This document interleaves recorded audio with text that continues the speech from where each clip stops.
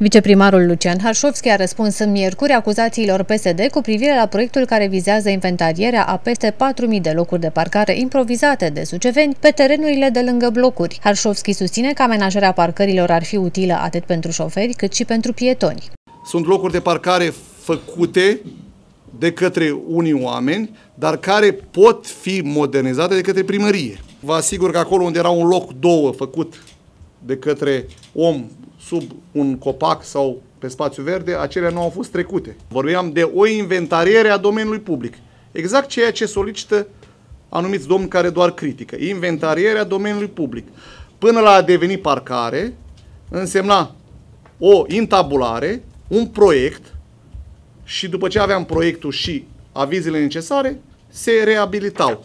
Câștigau atât sucevenii, pentru că vorbim de cei care au mașini, dar câștigau și de cei care nu au mașini, pentru că odată ce borduram, asfaltam, marcam aceste locuri de parcare, tot pietrișul pe care îl vedeți dumneavoastră pe aici nu mai era peste tot pe drum, pe spațiu verde, iar spațiu verde identificat prin registrul spațiilor verzi la care lucrăm, se refăcea în totalitate. Hașovski a mai afirmat că reprezentanții PSD au avut suficient timp să consulte documentația în ședințele comisiilor de specialitate, acolo unde au fost date avize favorabile pentru proiect.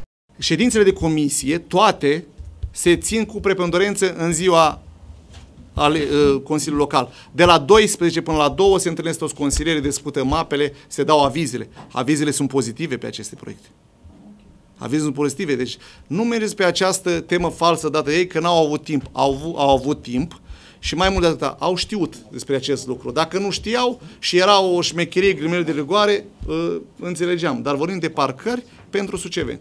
Viceprimarul Lucian Harșovski a anunțat că proiectul va fi repus pe ordinea de zi în următoarea ședință a Consiliului Local. Așa vor cei de la PSD să arate Suceava, așa vrea Lucian Harșovski să arate Suceava și consilierii PNL. Uitați cum diferența între unul și celălalt. Dacă dumneavoastră spuneți că era mai bine să rămână așa, eu mănânc această hârtie.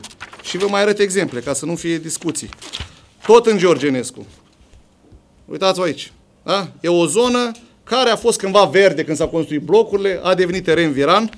Așa arată în momentul de față, nu este finalizată. Se lucrează, avem mutelajele în zonă.